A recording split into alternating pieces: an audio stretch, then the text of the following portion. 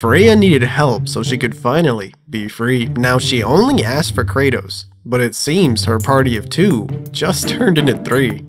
What is it you want? I refuse to remain bound to this realm. We travel to Vanaheim. Well, guess it's just us then.